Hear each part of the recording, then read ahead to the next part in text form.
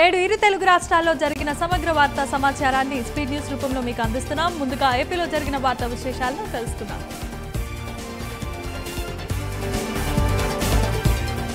రామచంద్రపురం వైసీపీలో టికెట్ కోసం మంత్రి వేణుగోపాల్ ఎంపీ పిల్లి సుభాష్ చంద్రబోస్ వర్గం మధ్య వర్గ పోరు ముదిరింది. ఇవాళ రామచంద్రపురంలో ఏపీ తనయుడు పిల్లి సూర్యప్రకాష్ తన వర్గంతో ఆత్మీయ సమావేశాన్ని నిర్వహించారు. తన కుమారుడు సూర్యప్రకాష్ టికెట్ కోసమే తన వర్గం అనుచరులతో ఆత్మీయ సమావేశం నిర్వహిస్తున్నారని సొంత పార్టీ నేతలే గుసగుసలాడుతున్నారు. మంత్రి చెల్లుబోయిన వేణు టార్గెట్ గానే సమావేశం సాగింది. మంత్రి తమపై కేసులు పెట్టిస్తున్నారని పిల్లి సుభాష్ వర్గీయులు ఆరోపిస్తున్నారు. వచ్చే ఎన్నికల్లో వలసపక్షి వేణుని తరిమేస్తామంటూ నినాదాలు చేశారు. పిల్లి సుభాష్ చంద్రబోస్ కుమారుడు సూర్యప్రకాష్కి వచ్చే ఎన్నికల్లో టికెట్ ఇవ్వాలని తీర్మానం చేశారు. సీఎంని కలిసే అవకాశం కల్పించాల్సిందిగా పిల్లి సుభాష్ చంద్రబోస్ని ఆయన వర్గీయులు కోరారు.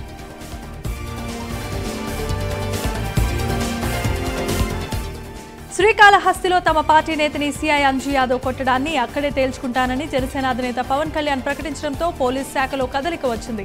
తరచూ తన ప్రవర్తనతో వివాదాలు కొని తెచ్చుకుంటున్న శ్రీకాళహస్తి సీఐ అంజు యాదవ్ వ్యవహార శైలిపై ఇప్పటికే ఉన్నతాధికారులు ఆగ్రహంతో ఉన్నారు. రోజు రోజుకు అంజు యాదవ్ ప్రవర్తన శృతి మించుతూ ఉండటంతో ఆమెపై శాఖాపరమైన చర్యలు తీసుకోవాలని ఉన్నతాధికారులు నిర్ణయించారన్న సమాచారం. ఇక మూడు రోజుల క్రితం ధర్నా చేస్తున్న జనసేన నేతని సిఐ అంజు యాదవ్ కెమెరాల సాక్షిగా చెంపలపై కొట్టారు. దీనిపై జనసేన అధ్యక్షుడు పవన్ కళ్యాణ్ ఆగ్రహం వ్యక్తం చేశారు. ఇప్పటికే అంజు యాదవ్కి ఛార్జ్ మెమో ఇచ్చారని సమాచారం.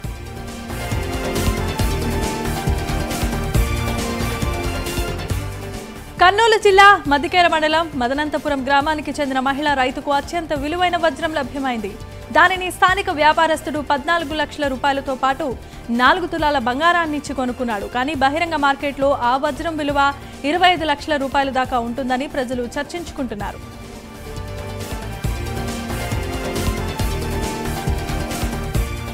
పశ్చిమ గోదావరి జిల్లా పట్టింపాలెం గ్రామంలో నిర్వహించిన గడప గడపకు మన ప్రభుత్వం కార్యక్రమంలో డిప్యూటీ సీఎం కొట్టు సత్యనారాయణ పాల్గొన్నారు. ఈ సందర్భంగా ఆయన ప్రతిపక్షాలపై పలు వ్యాఖ్యలు చేశారు.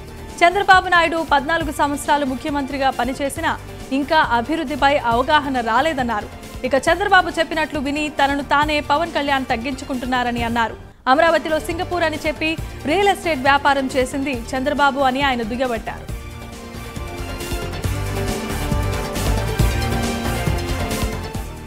జనసేన పార్టీ జిల్లా అధ్యక్షులు బండ్రెడ్డి రామ్ చిలకలపూడిలో జరిగిన కార్యక్రమంలో మంత్రి జోగి రమేష్ పై మండిపడ్డారు.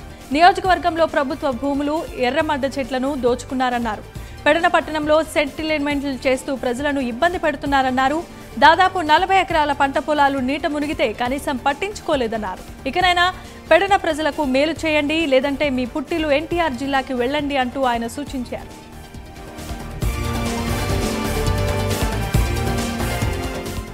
ఉమ్మడి తూర్పుగోదావరి జిల్లా జనసేన పార్టీ ఉపాధ్యక్షురాలు సుంకర కృష్ణవేణి మంత్రి రోజాపై ఫైర్ అయ్యారు. జనసేన సభలకు వచ్చే మహిళలు మంచివారు కాదని మీరు ఎలా నిరూపిస్తారు రోజా అంటూ ప్రశ్నించారు.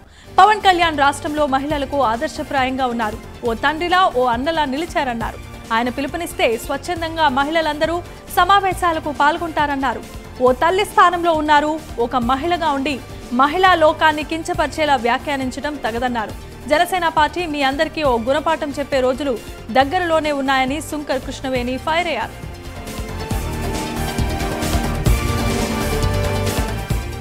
అక్రమంగా డూప్లికేట్ సిగరెట్లు విక్రయిస్తున్న కొత్తమా సుధాకర్ అనే వ్యక్తిని విజిలెన్స్ అధికారులు అదుపులోనికి తీసుకున్నారు. మూడు వేల మూడు లక్షల ఇరవై నాలుగు వేల ఆరు వందల విలువ గల నగదు తొంభై ఆరు సిగరెట్ బండిల్స్ను స్వాధీనం చేసుకున్నారు. అనంతరం నిందితుడిపై క్రిమినల్ కేసును నమోదు చేసి రిమాండ్కి తరలించారు.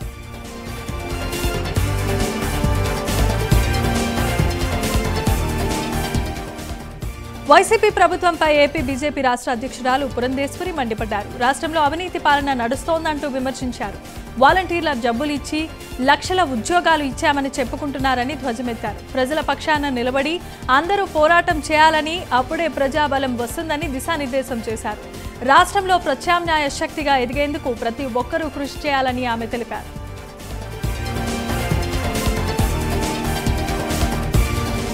ఇక ఇరవై రూపాయలు ఎరగా వేసి పది లక్షలు దోచేసిన దుండగులు ఈ ఘటన గుంటూరులో బ్రాడీపేటలో జరిగింది. లక్ష్మీపురంలో హెచ్డిఎఫ్సి బ్యాంక్లో పది లక్షలను హరిబాబు అనే వ్యక్తి విత్డ్రా చేసి బైక్పై కూర్చున్నాడు. ఇది గమనించిన దుండగులు ఇరవై రూపాయల నోట్లను ఎరగా వేసి డబ్బును కాజేయాలనుకున్నారు.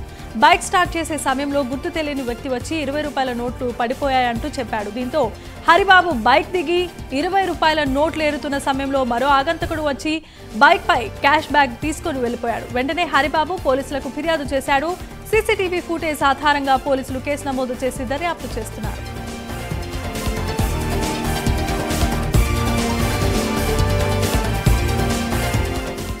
శ్రీ సత్యసాయి జిల్లా కదిరిలో జగనన్న కాలనీలో సచివాలయ మున్సిపల్ ఉద్యోగులు అవినీతికి పాల్పడుతున్నారని Janasena party in charge Bhairava Prasad తెలిపారు. ఎర్రగుంట్లపల్లిలో జగనన్న కాలనీలో సెంటు భూమిని యాభై వేల నుంచి లక్ష రూపాయల వరకు అమ్ముకుంటున్నారని ఆరోపించారు. వైసీపీ పార్టీకి చెందిన మున్సిపల్ అధికారులు చేస్తున్న అరాచకాలను అతి త్వరలోనే ప్రజలకు తెలియజేస్తామని ఆయన అన్నారు. ఇప్పటికైనా ఉన్నతాధికారులు స్పందించి చర్యలు తీసుకోవాల్సిందిగా డిమాండ్ చేశారు.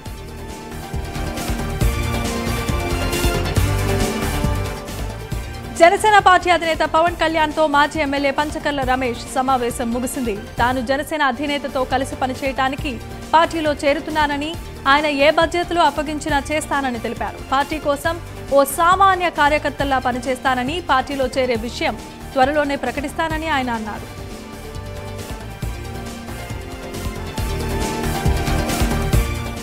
విజయవాడ కృష్ణలంకలో టెక్యం శ్యామ్ అనుమానాస్పద స్థితిలో మరణించారు.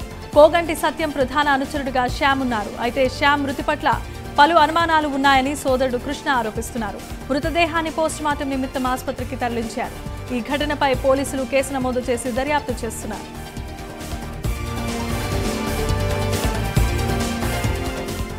అనకాపల్లి జిల్లా చోడవరం మండలంలో జనసేన కార్యకర్తలు భారీ ర్యాలీ నిర్వహించారు. జనసేన నియోజకవర్గ ఇన్ఛార్జ్ పీబీఎస్ఎన్ రాజు ఆధ్వర్యంలో నిర్వహించిన ఈ ర్యాలీ కొత్తూరు నాలుగు రోడ్ల కూడలి వద్ద మానవహారంగా ఏర్పడింది. పవన్ కళ్యాణ్పై అనుచిత వ్యాఖ్యలు చేసిన వ్యాఖ్యలు తక్షణమే వెనక్కి తీసుకొని క్షమాపణ చెప్పాలని నినాదాలు చేశారు. రోజా అంబటి రాంబాబు కోడలి నాని పేర్ని నాని గుడివాడ అమర్నాథులు తమ నోటిని అదుపులో పెట్టాల్సిందిగా హెచ్చరించారు. అనంతరం జనసేన అధికారంలోకి రావడం తథ్యమని సవాల్ చేశారు.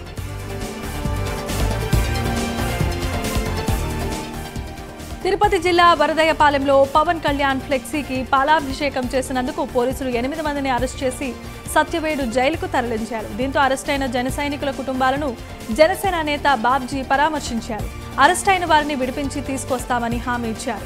జనసేన ఎదుగుదలను చూసి ఓర్వలేక ఇలాంటి చర్యలకు పాల్పడుతున్నారని వైసీపీపై మండిపడ్డారు.